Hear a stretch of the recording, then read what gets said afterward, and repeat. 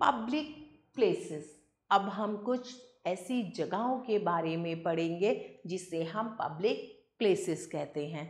Number one airport airport वो जगह होती है जहाँ से हम अपनी फ़्लाइट लेते हैं।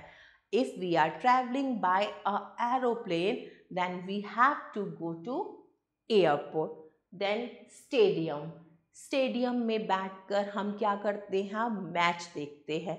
क्रिकेट मैच, फुटबॉल मैच, ये सब कहाँ देखते हैं हम? स्टेडियम में। स्टेडियम में चारों तरफ़ लोग बैठते हैं और बीच में एक बड़ा सा ग्राउंड होता है जहाँ पर प्लेयर्स खेलते हैं। देन लाइब्रेरी लाइब्रेरी एक वो जगह होती है जहाँ पर हम डिफरेंट बुक्स को पढ़ते हैं जाकर।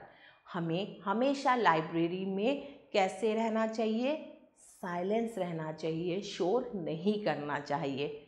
आफ्टर देन पार्क पार्क वो जगह है जहाँ पर हम शाम को खेलने जाते हैं। स्कूल स्कूल क्या जगह है? वो जगह है जहाँ पर हम पढ़ते हैं, खेलते हैं। देन हॉस्पिटल जब हम बीमार होते हैं तो हमें कहाँ जाना पड़ता है? हमें हॉस्पिटल जाना पड़ता है। तो बच्चों, इसीलिए आपको समझाया जाता है कि हमेशा हेल्दी फ़ूड खाइए। जिससे आप हेल्दी रहें और आपको हॉस्पिटल नहीं जाना पड़े।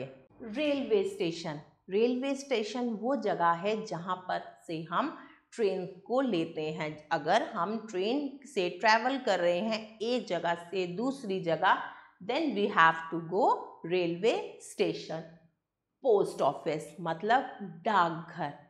बैंक बैंक वो जगह है जहाँ पर हम अपना कैश डिपॉजिट करते हैं और विड्रॉ करते हैं। बस टर्मिनल बस टर्मिनल वो जगह है जहाँ से हम कहीं आने या जाने के लिए बसेस को लेते हैं। Then museum and cinema cinema मतलब जहाँ पर हम पिक्चर्स देखते हैं सिनेमा घर। आजकल बहुत से नए नए सिनेमा हॉल्स खुले हैं, जहाँ पर आप अपनी फैमिली के साथ जाकर क्या देखते हैं? पिक्चर देखते हैं। सिनेमा हॉल हमेशा अपनी फैमिली के साथ जाना चाहिए, अकेले नहीं जाना चाहिए।